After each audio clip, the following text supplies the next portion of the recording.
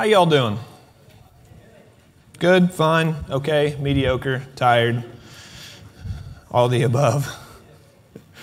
Well, good. Well, before we do this, let's pray. Um, Father, I thank you so much, God, for the way that sometimes things line up even when we don't plan it, um, even when we don't necessarily orchestrate things to work out the way they do. But Lord, talking about your expression of love um, being the cross, something that we would never expect, Lord. And then we sing a song about your love running red and our sins being washed white because of the cross. Lord, I'm, I am in awe of you, Lord. So I thank you for, for doing things far better than I ever could, for just making things better than I could ever orchestrate them. Lord, I thank you so much for that. Lord, I pray that this time that we gather around your word, that we open your word and we look at it, God, I pray that our hearts would be, would be focused on you, that we would really know you and experience you through your word today. God, I pray that you would move us, that you would help us to live um, the way you've called us to live. God, I pray that you would prod us in the right direction, that you would move us so that we would follow you more closely and we would just know you more and experience your grace and your presence in our lives on a day to day basis. Lord, I pray, no, not even just a day to day basis, Lord, a moment by moment basis.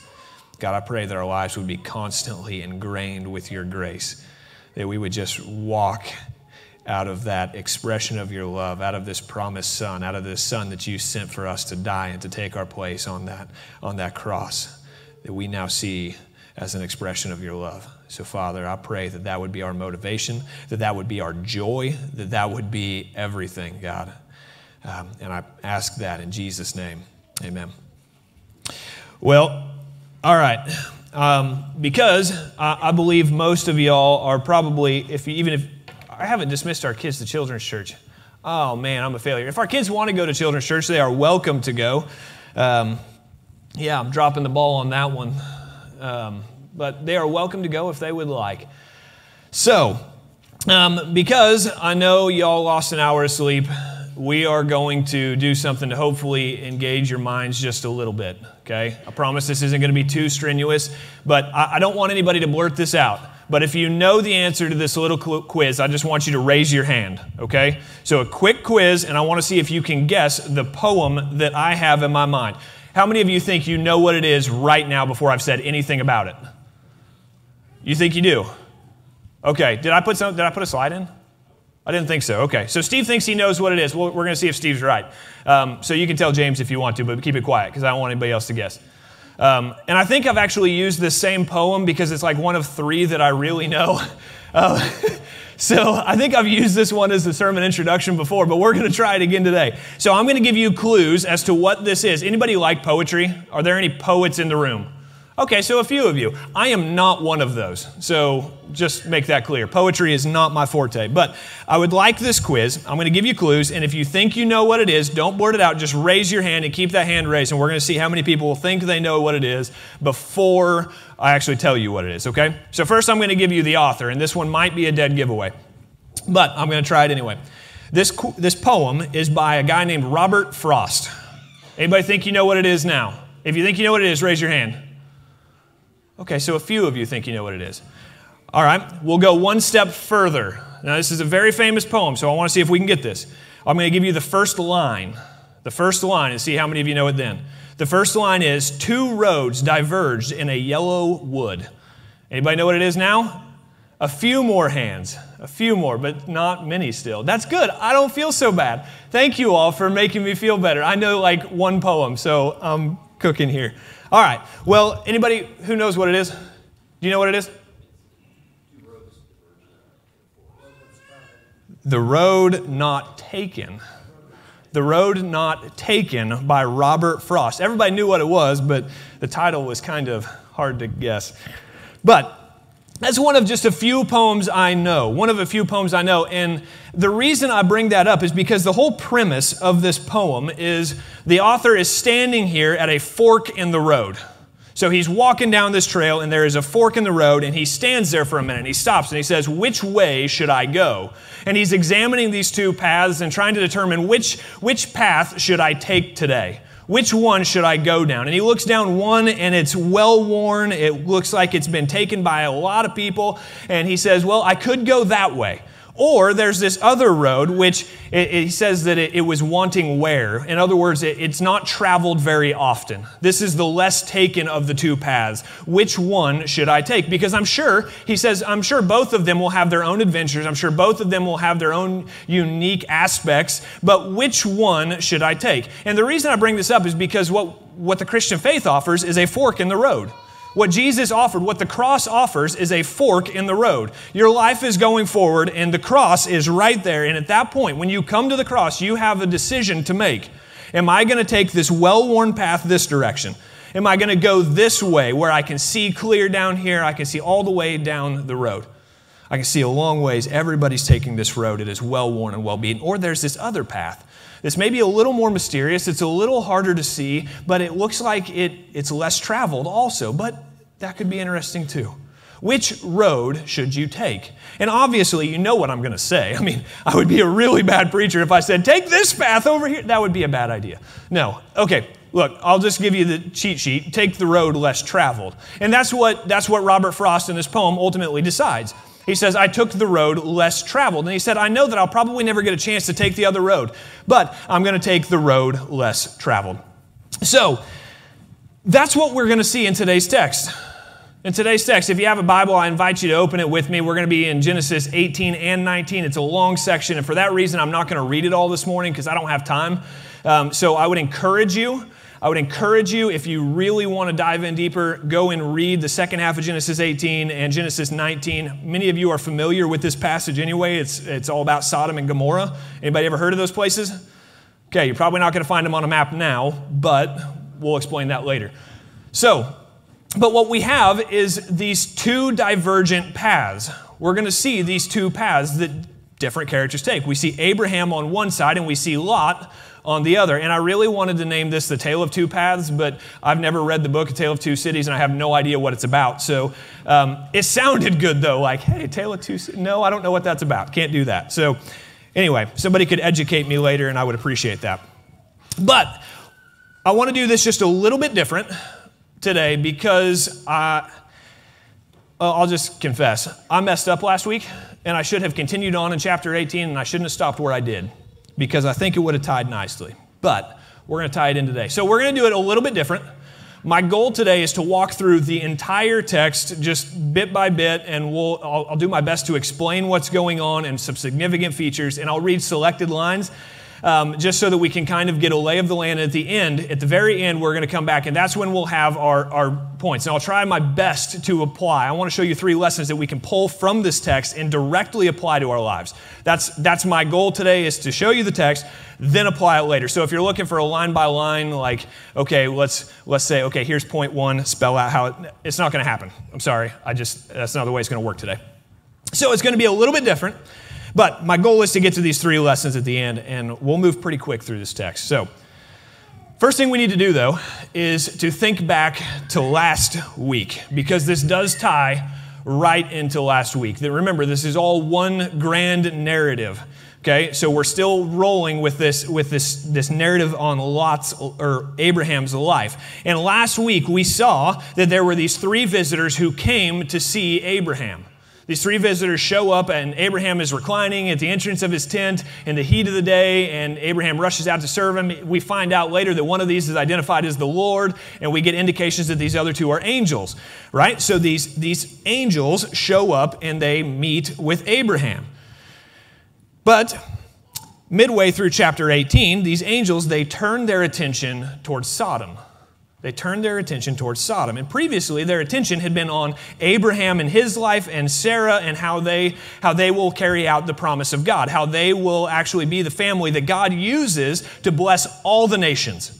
Okay, that was the attention before, but it shifts to Sodom. And at the beginning of our text today, we're going to see that there is this internal discussion that seems to be going on with, with God Himself or between God and the angels. We don't know, but there's this internal discussion that Abraham seemingly is not privy to. So we get this, this story, and it's all about what Abraham, it, whether or not they should tell Abraham what God is about to do. Should we let Abraham know? Should we not tell him? Should we keep it a secret? What should we do? And there's a key line, a key line in chapter 18, verse 19. Verse 19, it says, I have chosen him, I have chosen him, so that he will command his children and his house after him to keep the way of the Lord by doing what is right and just. So here, there's this internal discussion about should we tell him, should we not tell him? And then he says, but wait, I've chosen him. I've chosen him so that he could teach his children and his grandchildren and his house after him to walk in the way of the Lord. So that's it's a rhetorical yes, we should tell him for this reason because I have chosen him, God says. And this word chosen is an interesting one. If you read out of the King James, it probably says because I knew him. Um, some translations say because I have singled him out. Most contemporary translations, however, say because I have chosen him. And the word here is, it's the Hebrew word yada. Um, it, actually, in the form it's used here, it's yadati, but it's the word yada. Okay, and whenever I think about this, it's like, yeah, I know that, yada, yada, yada. We know what's going on. That's how I remember this. So that's the Hebrew word yada. And what it means is to know. So a literal translation would be, I know him. But there's a deeper connotation to this word that's important that we, we recognize this word. Not only does it mean some mental assent like, I know him, because God knows everybody, right? God knows everything. He's all knowing. So, of course, He knows everybody. So, to say, I know Abraham is nothing uncommon. He could say, I know Lois, I know Parker. He could go around the room and say, I know every one of you. I know because God knows everything, right? So, why does it specifically say, I knew him or I yada him? Why does it say that? Well, this word carries the idea of, of discriminating or setting apart. Like, it's like saying, okay, yeah, I know him. I have discriminated him. I can distinguish between Abraham and everybody else. I have distinguished him. I have discriminated him apart from everybody else. And that's why many contemporary translations say, I chose him. And for this reason, for this reason, because God has set him apart, he says, I'm going to let him in on what I'm going to do. Because I know him, because I've chosen him. But why does that have anything to do with this? Like, okay, I've chosen him, but why does that mean I should tell him what's going to happen? Well, he says, I have chosen him so that. And I love, I love that, okay? We're working, our small groups that just started meeting, one of the things that we're talking about is marking up a Bible. We're talking about marking up a Bible. I'll just tell you, whenever I mark up my Bible, every time I come across the word so that, I put a box around it. Every single time I come across the word so that, I put a box around it. Because every time you see so that, it's showing causation. This happens so that this will be true. Okay? You all, you, you get the English language, you know how that works. This happens so that this will occur. And God says, I chose him so that he will teach his children and his grandchildren and his house after him. It's not just Abraham that's affected here. God says, I chose him. And sure, he loves Abraham, but he chose him so that he would teach that to future generations also, so that he would teach future generations how to follow the Lord. It's not just Abraham that's at stake here. So he says, I will let him know what I'm going to do for himself and for future generations so that they can see how I work, how I move, what I'm doing. Okay? So, that's how God says He's going to fulfill His promise to bless the nations. He says, I'm going to tell Abraham, I've discriminated him, I know him, I've set him apart so that He will teach future generations. So God tells Abraham, goes on, and He tells Abraham of the distress that's coming on Sodom and Gomorrah. And He tells them, um, tells them that the angels are going to go down to the city. They're going to go inspect the city and see what's going on. And then, next thing we know, start of chapter 19, the two angels, or it says men, but we've, we've come to recognize these are angels now. These two men, they show up at Sodom while Abraham is still standing there before the Lord. And Abraham, he begins to plead with God on behalf of the city, right? He starts begging God. He said, Would you really sweep away the righteous with the unrighteous? And then you get to verse 25 of chapter 18, and he says, You could not possibly do such a thing. You cannot possibly do such a thing. To kill the righteous with the wicked, treating the righteous and the wicked alike, you could not possibly do that. Won't the judge of the whole earth do what is just? And Abraham here starts to appeal to God's justice. There's our future generations, y'all. Woo! Yes. Yes, she's coming forward. I like it. So Abraham here is pleading with God and he appeals to God's justice. He says, Would you really destroy the righteous and the unrighteous like there's no distinction? He says, God, you're just. You wouldn't do that. Surely you wouldn't do that.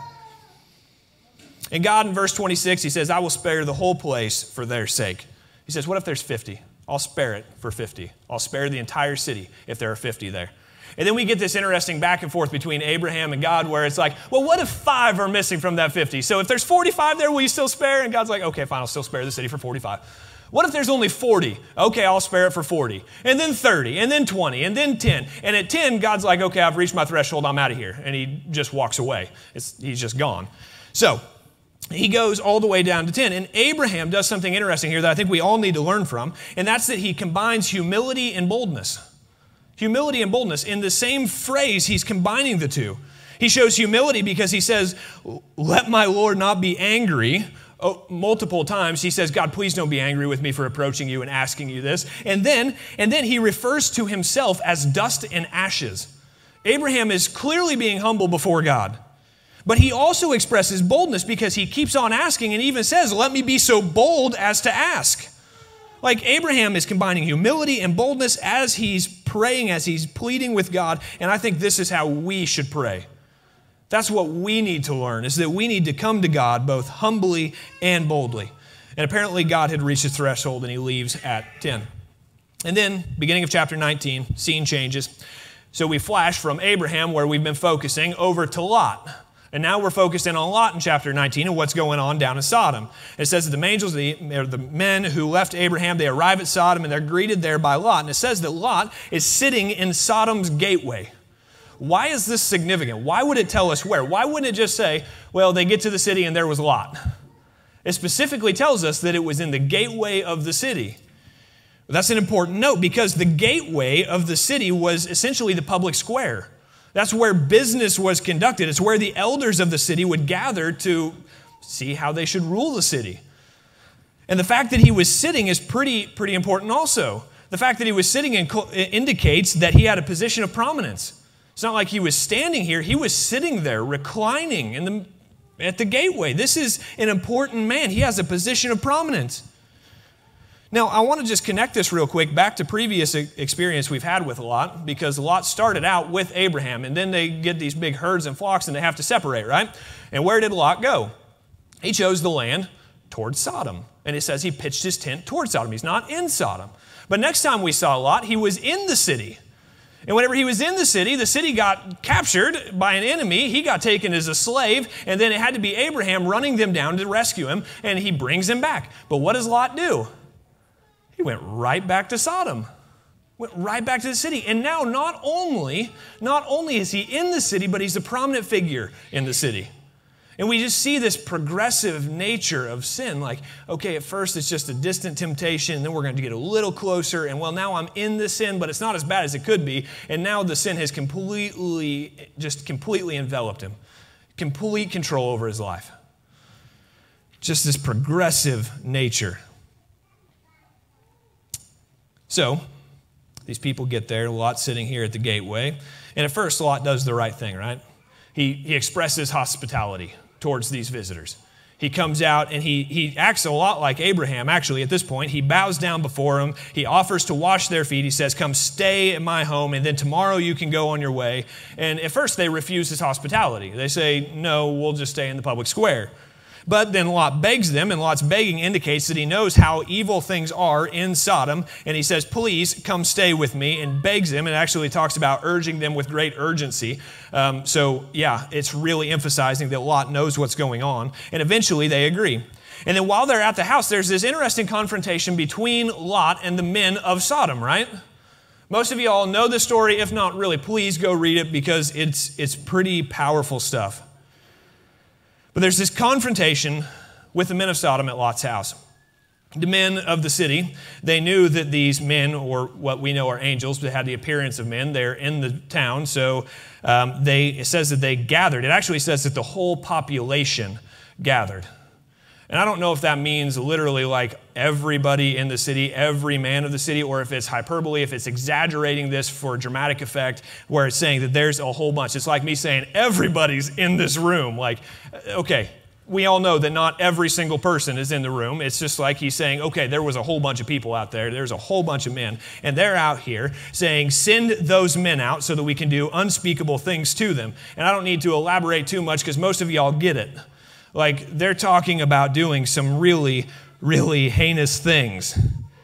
Um, one commentator actually just, just quickly, I'll tell you what he said. He said that this was a picture of pervasive homosexuality.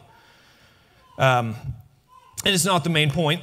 What we do see, though, is extreme sin here in this city. And they're asking to do unspeakable things to these visitors. And Lot knows, knows that what they're talking about doing is evil.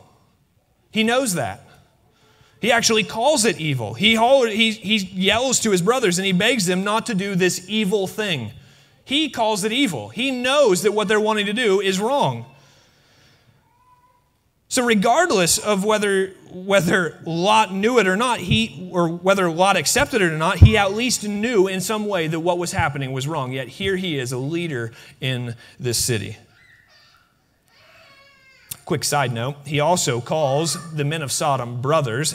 So even though he knows that this is wrong, he is so ingrained in this city and so connected to these people that he is saying, We are brothers in this.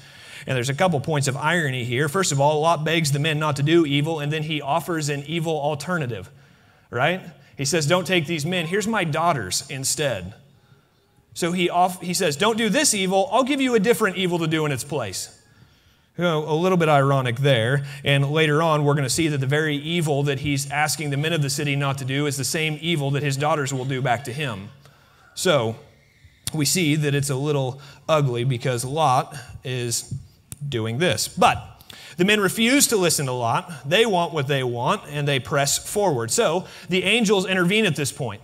These angels intervene. They reach out, they pull Lot back into the house, and then it says that they strike the men of Sodom with blindness strike them with blindness. And I actually love the word that it uses for, uh, for striking them. It's, it's this word that's usually re- referenced with a physical beating. So it's almost like he pound, like these angels are pounding them with blindness, just absolutely pounding them with blindness, and they can't see where they're going. And then, so Lot is commanded by the angels to go and get everybody he knows and he loves out of the city. He knows that the city's about to be destroyed, and Lot apparently had other daughters because he goes to his sons in law's houses and he begs them to get out of the city. He says, Please leave the city. And they think he's joking. I don't know about y'all, but if I come telling you to get out of town because something bad's about to happen, I am not joking, okay? I will not play that prank on you, I promise. But Lot apparently has tried this before somehow, I don't know, but they think he's joking, so they don't leave. And then morning comes along, and the angels say, Lot, get out of town. Take the daughters who are here with you and your wife and run. Like, get out. Get away from the sin. Run away. But let's, let's give Lot a little bit of grace here. Just, just a little bit of grace, okay? This is everything Lot has worked for, isn't it? This city represents Lot's life work. It, that's everything to him. I mean, this is his home. This is where he's raised his family. This is where his friends lived. It's where he's worked, and he's been striving to improve this city for decades now. I know it's really easy to look at Lot and be like, Lot, you didn't have it all together here, man. Like, figure it out. But let's give him a little bit of grace because this is a place that he has worked to improve. So he hesitates. He hesitates. And he thinks, wait, do I really have to run? Is it going to be as bad as you're saying it's going to be? I, I, I think we'll be okay. Just, just, let's just wait a minute. Let's, let's rethink this. But then we get to verse 16 of chapter 19, and it says, Because of the Lord's compassion for him, because of the Lord's compassion for him, the men, the angels, they grabbed his hand, his wife's hand, and the hands of his two daughters, and they basically dragged them out of the city. And the reason for that is the most important part of that whole sentence because of the Lord's compassion. This is the key to this whole passage to this whole, whole chapter. It's that he was compassionate. God, had he wanted to, could have very well come down and destroyed everything, right?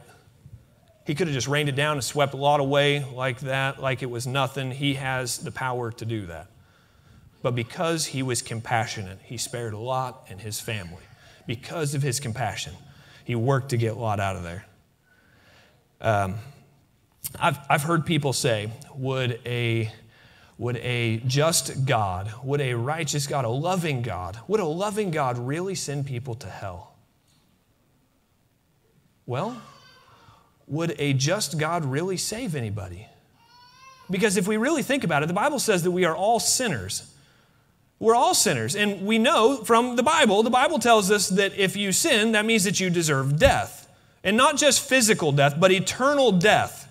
That's what we deserve if we're sinners. And the Bible says all have sinned, which means that every single one of us ultimately deserves eternal damnation, which is a really hard pill to swallow.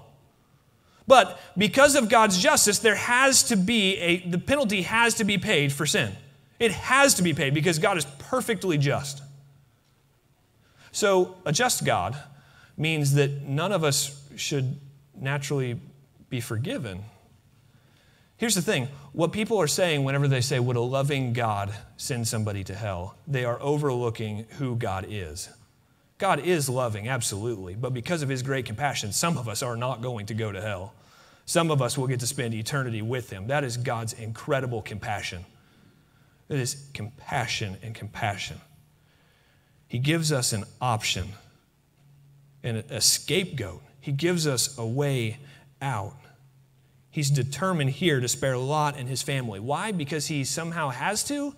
No, because his great compassion. Man, if you are saved by God, just be so thankful that he's compassionate. I hope you see how loving and how kind and how merciful and how compassionate God is for saving even one. So thank God for that.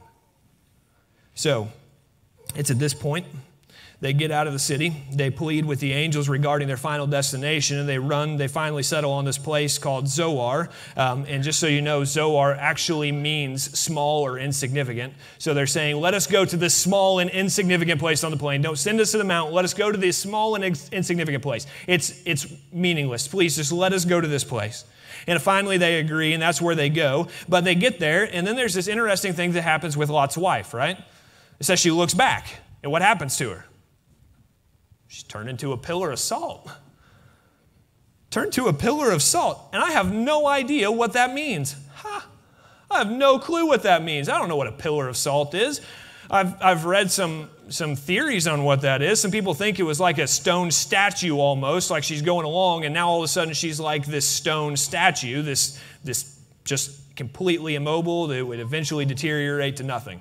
Okay, maybe that's what's going on. I have no idea. What we know is it's not good. You can tell from context, it's not a good thing. So she's she's punished for looking back. But but let's just think about this for a minute. This is not just like a curious glance backwards. It's like let's get out of Sodom, let's run away, let's get out of here and they're running. And uh, what I always used to picture is she's running along and it's like, well, I hear something exploding behind me and it's like, okay, I'm going to turn and glance and then she's just frozen like this. Nobody move. Okay, no, I'm kidding. Okay, so going along like that and just, just frozen. That's what I've always pictured. But I, that's not what the text indicates here. The Hebrew word here for glancing back, looking back, is the Hebrew word nabat. Um, and it means actually like a longing or a yearning. Like she's yearning to go back to Sodom. She's just gotten out of the fire and brimstone, y'all. She's been, she has escaped from this burning sulfur that's going to come down. And she's like, oh, man, I really wish I could go back to Sodom. Hmm, man, it was nice. I had a cushy life. I could recline at the gateway of the city. Everything was nice. I had a powerful husband. Everything was smooth. And she was longing for Sodom. She wanted to go back, wanted to go back. Her heart was not with the Lord, her heart was in Sodom. That was the problem. Let's just make that clear. It's not like God had a rash reaction whenever she glanced over her shoulder. Oh no, she wanted to be back in Sodom. And for that reason, her fate was kind of like that of those people in Sodom, because that's where her heart was. And I hope that we can see the distinction there. But then we get this quick flashback this point, we get this quick flashback back to Abraham to see what's going on with him. And it says about verses verse 28 of chapter 19, it says that he's looking out where he had been standing before the Lord, um, looks out over the plain, sees the smoke rising from the plain. Um, it says it's like a smoke from a furnace. And then in verse 29, here's what it says It says, When God destroyed the cities of the plain, he remembered Abraham and brought Lot out of the middle of the upheaval when he demolished the cities where Lot lived. This kind of indicates that Lot was saved for Abraham's sake. Because he remembered Abraham, he saved Lot. Because of Abraham's intercession, God saved Lot. He rescued Lot. Abraham's intercession really made a difference. And then finally, the chapter ends with this weird section about Lot and his daughters. Um, and naturally, they want sons because in this time and place, that was everything, right? That having an heir was everything to these people. So they're here. They want sons. The only man around is their father, though. So they devise a scheme and they take advantage of their father. But let's just make it clear Lot is not innocent in this either. Lot, he was willing to overindulge himself with, with alcohol to the extent that he was blackout drunk and he didn't even remember what had happened the night before. And not only does he do this once, he does this on back to back nights. Let's just make it clear Lot is not innocent in all of this. Lot clearly has his faults. And then the chapter ends with the birth of Lot's sons slash grandsons, which is a really weird thing to say, um, but that's what happens. So they're born, and the first one is named Moab. And just so you know who the Moabites were, who these people were, they wind up being hostile neighbors of Israel and cause all kinds of problems. The other son they named Ben-Ammi, which is the father of the Ammonite people. Who, these people were wandering herdsmen. If you keep reading through the Bible, you're going to find that the Ammonites, they continually ally, them, ally themselves with the people around Israel, and they cause real problems for Israel also. So these two sons that are born from this incestual relationship, they cause all kinds of problems down the road all kinds of problems. Sin has lasting effects. Lasting effects. Okay? So let's just make that as clear as we can. So that's that's end of chapter 18. That's chapter 19. Um, what do we do with this whole thing? Okay? I told you I got three lessons that I want us to work through. But before we do that, before we do that, because it's daylight savings time and we've already been talking for a long time, I want everybody to stand up for just a minute. Everybody stand up for just a minute because I don't want you to fall asleep on me. Okay? Everybody stretch out because I got another hour and a half to go. you all think I'm joking. Okay. Stretch out, kick your legs, hit your neighbor, whatever you want to do. Um, get, that was really hostile. Really hostile. Okay. All right. We're good. Everybody good? Everybody awake? Halfway? Got a little blood flow in your legs? Okay. Three lessons three lessons from this really difficult part of Scripture. I know that this is a heavy story, and if I'm being honest with you, some of my application might be a little heavy also, but stay with me because we learned three lessons that we can apply to our lives here. Okay, first of all, you cannot possibly overestimate the significance of godly intercession. You cannot overestimate the value of godly intercession. I actually remember hearing a preacher say once that when God's people intercede, God intervenes. So, godly intercession leads to godly or, or God's intervention. Okay? So, here's the way I want to say this. When we, as God's people, start praying, God starts moving. Like, pray, pray. God, God was going to absolutely destroy this place and everybody in it. He was going to eliminate the whole place. But what happened? Abraham prayed and prayed and pleaded with God. But remember how he did it. Remember how he did it. He came humbly, first of all, recognizing his position before God. And I think sometimes, sometimes we miss this. Because, okay, our, our, our, American Christianity, we really want to emphasize like God is our friend or God is our close father. Like, we, we want to emphasize those things. And those are true. Okay, those are true. We, but we want to emphasize those to the point where we're almost irreverent. Like we almost bring God down to our level somehow. Like, okay, we are almost equal. He's got a little more power than I do to make some things happen, but you know, we're close. No, no, no, no, you're not. Let's make this as clear as we can. You are nowhere near God's level, okay? Not even close. Like, just, I can't, I don't know how to make that more clear. You are not anywhere near God, okay? I think that's clear. I think what I'm trying to say is clear. Does that make sense, y'all? Everybody with me? I'm tired too, okay? So there, take that. All right.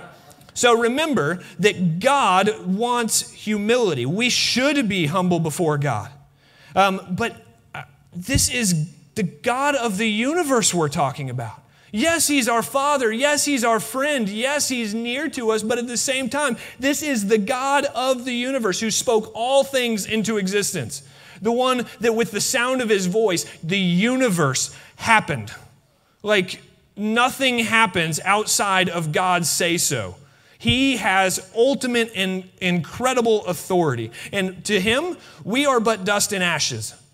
Before him, we are nothing more than dust and ashes. Remember, that's how man was formed. He was formed out of the dust. And then it wasn't anything but the breath of God that made man come to life. This is the God of the universe, and we had better come to him with a little bit of humility. A little bit of humility. So, Abraham, we saw that he was humble, but not only was he humble, he was also bold. So we should absolutely recognize our standing before God as dust and ashes, but we still go boldly to approach his throne of grace. Why? Because Jesus made a way for that. Jesus made a way for us to approach God. That's pretty awesome. Um, a couple of the verses I just want to show you this just to kind of drive this point home. One of them I know I've quoted several times recently, but I'm going to keep doing it because it's so good. Hebrews chapter 4, verse 16. It says, Therefore, because Jesus came, and we can relate to him, Therefore, let us approach the throne of grace with boldness so that we may receive mercy and find grace to help us in a time of need. Yeah, you can approach the throne of grace. Second verse I want to show you here is 1 John chapter 5. It's actually two verses, 14 and 15. It says, This is the confidence we have before him. If we ask anything according to his will, he hears us. And if we know that he hears whatever we ask, we know that what we that we have what we have asked of him. In other words, if you ask God for something in His will, like in the Spirit, like just seeking His heart, if you come to God looking for God's will to be done, whatever you ask is going to happen because it's God's will. Okay? So let's make that abundantly clear. There is power in prayer, and we should come to God boldly while coming to Him humbly. So we pray humbly and boldly, but notice what Abraham does. Notice again what Abraham does. He appeals to God's character. He appeals to God's character, who God is, to God's perfect justice. And when we pray, I think we would do well if we remembered that prayer is really more about who God is than what we want. That's what prayer is about. It's about who God is, not just what we want. Okay, Abraham certainly cared for people. Of course, he cared for the people down in the plain. He cared for those people. Those are human beings. And he especially cared for Lot, so he's begging for God. But he doesn't say that Lot was a good man or he deserved anything from God. He doesn't come and say, God, here's what I want, and I think that you should change what you want to meet what I want. Instead, he says, God, you are just. You are a perfect judge. You are perfect. So, God, would you really wipe the righteous away with the unrighteous? He appeals to who God is. He comes to God saying, God, just remember who you are. Huh. That's different from how most of us pray, myself included. He comes and says, God, be God. And he appeals to God's justice and pleads with him to spare the city on account of the few righteous. So, does that describe you? Does that describe the way that you pray? Are you pleading with God on behalf of others? I actually, um, one of my favorite lines, and I know I've probably said this too, I know that Mike and I have talked about this before, but I've heard it said that many, many midweek prayer meetings at churches are more about keeping Christians out of heaven than they are about keeping sinners out of hell. Like, what are we, what's, what's our heart really want? Does our heart really want comfort? Does our heart really want for people to be saved? What are we really longing for? I'm not saying it's wrong to pray for healing of somebody, but what is, what is our real emphasis? What is our drive? What drives, what fuels our prayers? Is it that I want people to know Jesus, to experience his grace in their lives? Or is it, well, I want people to not struggle? What's, what drives us? What really drives us? What is our priority? So, the first thing we learn here is that you cannot overestimate the significance of godly intercession. So, I want to urge you, please pray for the lost. Pray for the lost. Second lesson we learn here is that God will protect those who belong to Him. God will protect those who belong to Him. And let me explain because nothing, nothing about today's text, nothing about today's text indicates that Lot was a good guy. Nothing about it indicates that. Not a thing. However, what we do find whenever you come to the New Testament is that Lot was apparently a man who knew the Lord. apparently. Because you get to 2 peter chapter 2 and this is a long section but i want to read it because it really teaches us a lot about who lot was. A lot about who lot was. I didn't mean to do that. That was fun so 2 Peter chapter 2 verses 6 through 9 it says, "And if he reduced, if God reduced the cities of Sodom and Gomorrah to ashes and condemned them to extinction, making them an example of what is coming to the ungodly, and if he rescued righteous Lot, distressed by the depraved behavior of the immoral. For as that righteous man lived among them day by day, his righteous soul was tormented by the lawless deeds he saw and heard. Then the Lord knows how to rescue the godly from trials and to keep the unrighteous under punishment for the day of judgment. What Peter just did was explain that Lot was a godly man. He loved the Lord. He was distressed by the evil of Sodom. He calls him righteous Lot. like, from today's text, that's not something I would have picked up on. But clearly, Peter here, being inspired by the Holy Spirit, knows something about Lot. Now, does that mean, does that mean, okay, because I said God will protect those who belong to him, does that mean that you're never going to experience a trial? Absolutely not. And I hope if you've been here for any amount of time, you know that I'm not going to tell you that, because that's just a lie. That does not mean you're never going to experience trouble in this life. Um, instead, what it means is that absolutely nothing, nothing can separate you from the love of God that is in Jesus. Nothing can. And I can say that because that's in the Bible. I'm confident in that. There is nothing that can separate you from the love of God. It means that even death itself cannot separate you from the love that is in Jesus. So, whatever that thing is, that struggle, that obstacle in front of you, it can't ultimately destroy you. It doesn't have that authority. It doesn't have that authority. Why? Well, because Jesus is bigger than anything. And I want to be careful because I, I actually kind of like this. It kind of makes me feel good if I'm being completely honest. I've been, called, I've been told I'm not a feel good preacher, and somebody's going to laugh in just a minute. Uh, but I've been told I'm not a feel good preacher, okay? And I actually kind of appreciate that a little bit because I know that the Bible doesn't always make me feel those warm, fuzzy feelings inside. Sometimes it hurts. That's just true because I'm a sinful person, and the Bible naturally conflicts with your sin. Okay, so I, am fine with being told I'm not a feel good preacher. I actually kind of appreciate that a little bit. So I want to be careful at this point, telling you that you can overcome anything. You can overcome absolutely anything. I want to be careful at this point. Because I don't mean that you're always going to get it right, or that you'll always get the bonus or the promotion, or that you'll win your battle with cancer, or that you're going to win a battle over depression or anxiety. I don't mean that you're going to win your battle over whatever it is that you're facing, or that there's never going to be hard times come on your family, because I don't have the authority to say that. What I can say with absolute certainty is that if Jesus is the Lord of your life, those things cannot take you from the grace of Jesus. They cannot take you from the love of God. They don't have that authority. Okay? And the beauty of this life is that we know the end of the story. Y'all, we got the book. We know how the story ends, right? We know how it ends. And it ends with Jesus punching death in the face. We learn here that righteous Lot, his wife, his two daughters that are still living under his roof, that they are saved by God's grace because of his great compassion. And in the end, that's how you can be saved too by God's grace through God's compassion. And you can be saved in the end. And I promise you, God will not lose.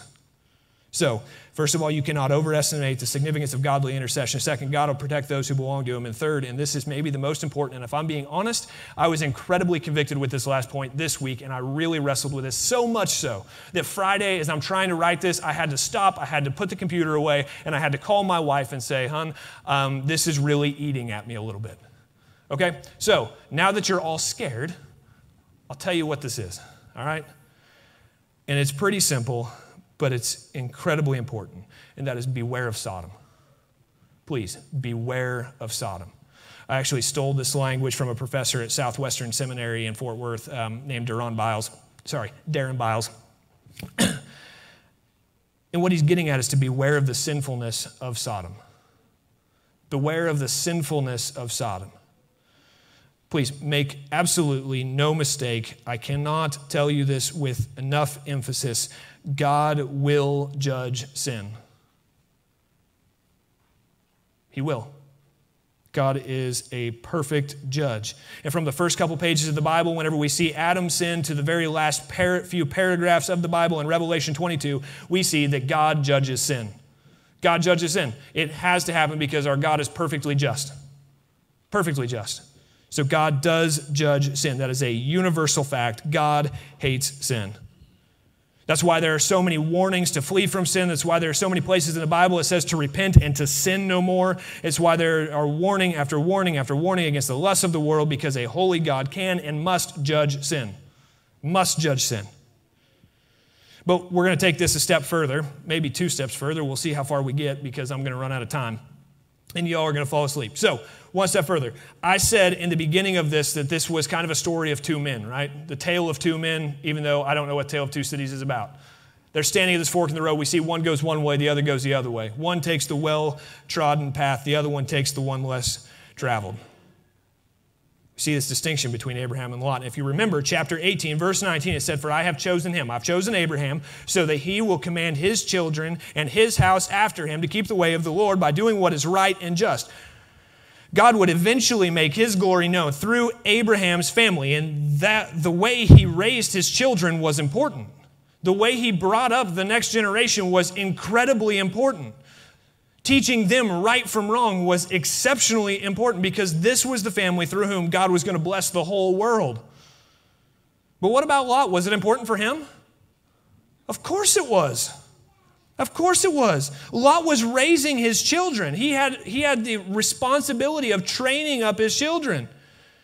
But he was bringing them up in a sinful and a worldly place where it was all about pleasure and to steal a line from judges, essentially they did whatever was right in their own eyes.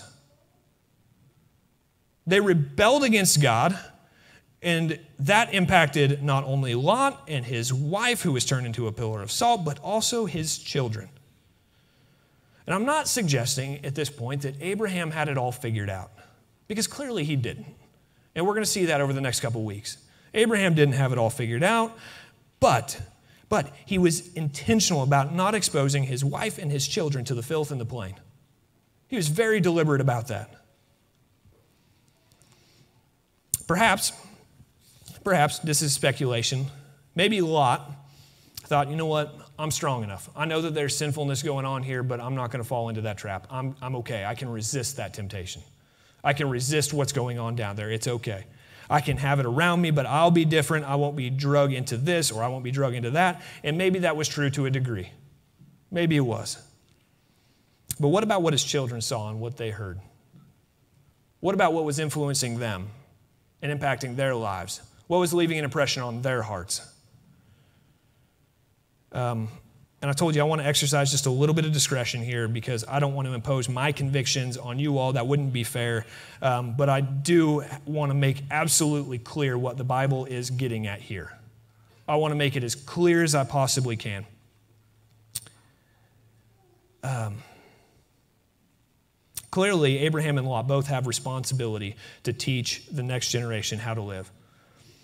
And what Lot says, at least through his action, that the most, he says that the most important thing is what the city has to offer. While Abraham makes the most important thing serving the Lord. And the differences are stark. Like, just read the chapter and you see the difference. Like, you can see the difference.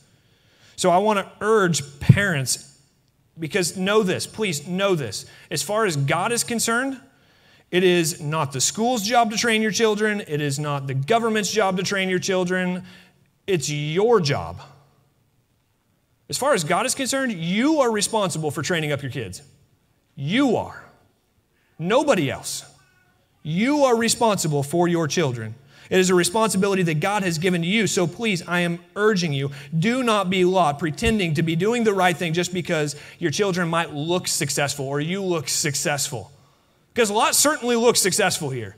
He looked like he had it all together. He's an important man in this city in the plain, sitting back, relaxing at the gateway of the city. But clearly, clearly, he had some issues going on. And his children were being impacted by the world just like he was. So listen, success doesn't mean doesn't mean that you are a successful parent. Because your job isn't to make kids that are comfortable, it's not your job to make kids even that are successful. Your job as parents and grandparents, your job is to raise them up in the way they should go. That's your job. That's what we're to do, is to teach our kids how to know right from wrong, to follow the Lord. That is our task. If I had to choose between my kids being comfortable or my kids being holy, I want my kids to be holy. Um, if I had to choose between my kids being successful and, or living for Jesus, I want my kids to live for Jesus every time. And I know what that means. I know that that might make me uncomfortable at times. But that's what I think we should want and desire. And instead of saying, you know what, somebody else will teach them how to be good people, that's not their job, it's yours. And I don't know that I can overemphasize this because Sodom here, Sodom here had an impact on Lot and his family. And we see the devastating repercussions of that. And it's no different today. Um, I was I was really convicted about this whenever I was sitting at my desk and I wasn't even I wasn't even reading this. I'd been studying this and I read an article from a school district that's not all that far from here that was talking about in, introducing um, certain curriculum that was sexually explicit at as early as first grade. First grade. And I couldn't believe, like I don't get it. I just don't understand. But then I started thinking, why would I expect the world not to do worldly things? Like, okay, that was brilliant. Y'all, again, I don't want to impose my convictions on you, but know this you are responsible for raising your children in the way they should go. It's your responsibility. I want to urge you, please beware of Sodom. Okay? Its influence is often subtle, but it's every bit as dangerous. And I know I'm running up against time, so I'm going to I'm going to do my best to tie a bow on this because the reality is, is that Jesus came and offered God's compassion. Offered God's compassion. He offered that fork in the road. So you may have been motoring down this road right towards Sodom. You may have been motoring down this, wor- this road, but Jesus says, I came to give you a fork in the road so you don't have to go that way. I offer you something better. And the path, it might be a little rougher and it might be a little harder to go down. But I assure you, at the end of the line, when you get to your destination, you will be so thankful that you took the road less traveled. So I want to urge you with that. Let's pray together. Father, I thank you again for this time. Um, God, I, I want to pray for the next generation, or for my kids, for our other kids that are here today, Lord, for our children that are in children's church right now. God, I, I want to I wanna ask for your grace and your compassion on them. Father, I, I know I pray this for my kids often, but Lord, I pray that you would call them to yourself, that you would convince them of their sin, and that you would urge them to repent and to turn to you. Father, I pray for the salvation of my daughter and my sons. Lord, I pray for the salvation of all of these kids here. God, I pray that all of them would say, I want to serve the Lord. And God, I pray that you would help their parents and their grandparents to be people who say, I want to raise my children in the way they should go. I want to teach them what it means to be a follower of Jesus. I want to teach them what it means to know right from wrong. I want to teach them what it means to be a servant of God. Lord, I pray that that would be on our tongues. I pray that that would be in our houses. I pray that to, to steal a word from a line from your scripture, God, I pray that it would be written on the doorpost of our homes. God, I pray that they, it would just be everywhere, God, and that our kids would come to know you as their, as their saviors. Lord, because you are Lord, whether we acknowledge you as such or not. So, Father, I pray that we would know that before it's too late. Lord, I pray for any single person, anybody who's here today who does not know you as their Savior, Lord, I pray that you would stand before them and put the fork in the road today, God. And I pray that you would urge them to take the road less traveled, the one that leads to eternal, eternal life. And that is belief, that is faith in Jesus. God, I pray that many people would come to know you as their Savior right here in Mound City and the surrounding area. God, I pray for your grace and your kindness and your mercy to be known. Lord, I thank you for this time. I thank you for the challenge that this word is. God, and I pray that you would make it effective because I know I can't. So I ask this in Jesus' name. Amen. Well, we're